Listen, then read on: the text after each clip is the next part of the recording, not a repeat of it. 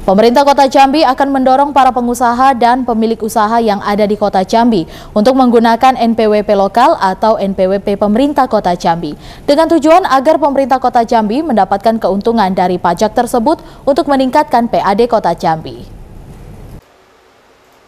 Saat ini pemerintah Kota Jambi sedang membuat rencana dan langkah-langkah strategi dalam menambah pendapatan asli daerah atau PAD Kota Jambi, yang salah satunya dengan menggunakan NPWP pemerintah Kota Jambi. Wali Kota Jambi Syarifasa mengatakan bahwa saat ini kebanyakan pelaku usaha yang ada di Kota Jambi menyetor pendapatannya untuk pajak sesuai dengan kantor tempatnya berasal, sedang di Kota Jambi hanya tempat usahanya saja dan tidak memiliki kantor. Melalui penerapan NPWP lokal ini, Menurut Wali Kota Jambi, diharapkan dapat meningkatkan PAD Kota Jambi dari sektor pajak daerah Kota Jambi. BUMN, swasta, instansi vertikal yang berasal dari luar Kota Jambi, berKTP luar Kota Jambi atau misal selamanya NPWP-nya di pusat akan kami dorong menggunakan NPWP lokal. Supaya apa? Supaya pajak-pajak hari eh, pajak penghasilan pajak gaji itu nanti pembagian agak lebih besar ke daerah.